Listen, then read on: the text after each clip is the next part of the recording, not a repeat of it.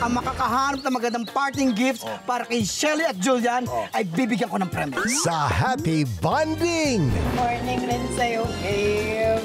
Parang magas pa yung mukha mo. Hindi ako nakapag-ahit agad. Di sana pala, inabili mo na lamang yung inaalok sa'yo ni Bianca na date on wheels. May mabubuking! Date on wheels? Kung gusto mo, ikikwento ko sa'yo lahat ng nangyari. Nag-kiss kayo ni Bianca?